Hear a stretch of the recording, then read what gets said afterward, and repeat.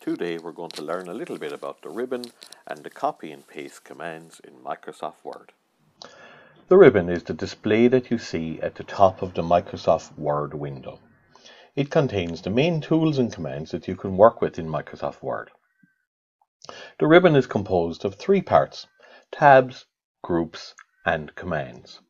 The tabs are along the top of the window just here, so you have the Home tab, the Insert tab, the Layout tab, and so on. And within each tab then you have various groups. This is the clipboard group, this group here. This is the font group, this group here. And this is the paragraph group, this group here. If I look at the layout tab here, if I just click on the word layout, you'll see that the groups and the commands change. So this within the layout tab, these are the margins and the page setup group, and this is the paragraph group. Today, we're going to be talking about the clipboard group on the Home tab. These few little commands here. Just a little bit of background information.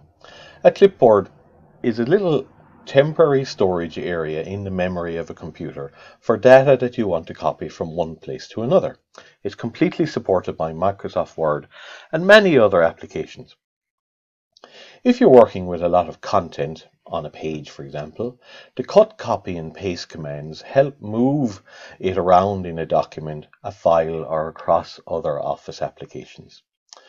Cut and paste are useful if you'd like to move an item, be it a piece of text or an image or an item from the web from one point in your file or document to another point.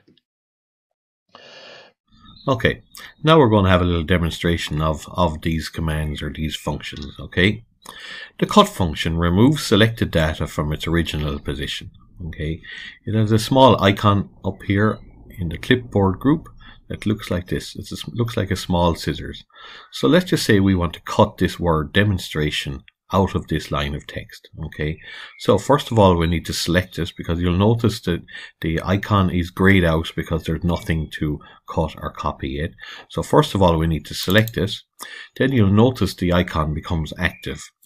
So I can do either of two things. I can click on the cut icon or I can go Control X on my keyboard.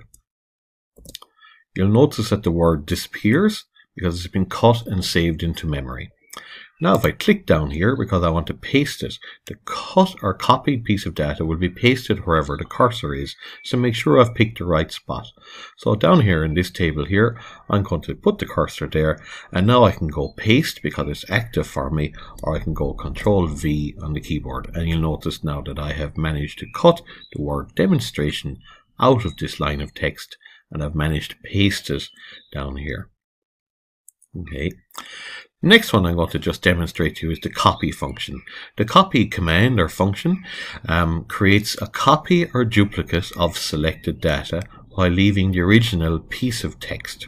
Alright, so let's just say, for example, if I want to copy this word text here, again, you'll notice the icon isn't active for me up here. So I need to select the text first of all. Once I select it, you'll notice the icons are now available to me and I can go Control C or copy up here. So Control C. Now notice this time the word doesn't disappear because I've just copied it. And now I want to go down to where I want to place it. And if I go Control V or paste, you'll notice that I've copied the piece of text. So these three little icons or these three little commands go very much hand in hand. You can cut the piece of text to cut it out of where it is and put it somewhere else. You can copy a piece of text to copy it out of where it is and paste it somewhere else. Okay, the last command we're going to demonstrate to you is the format painter. It looks like this. I've blown it up into a little bit of different size and it's up here in the clipboard group as you can see. The format painter is used when you want to copy formatting from one item to another. For example, if you have written text in Word and you have it formatted using a specific font type, color, and font size, you could copy that formatting to another section of text by using the Format Painter tool. So as you'll see up here, I've taken the word demonstration, I've changed the color of it to red, I've changed the font size to a different size to the rest of this text, and I've also made the word into italics.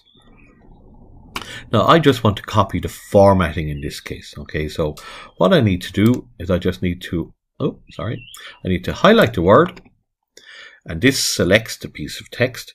And then if I just click on the word, the format painter command, just click once on it. You'll notice now that the cursor changes into what looks like a little paintbrush. Now let's just say if I want to take all of this line of text and I want to make it into the same format as I have up here, I just select all the text and watch what happens. Straight away once I unclick, it changes the entire formatting for me. This is a really handy feature sometimes if you're working in a document and you want to put particular formats on particular areas of the text without having to go through all of the changing the font colors, changing the font sizes, etc. I hope you learned something from this little demonstration today. Thanks for listening. Bye.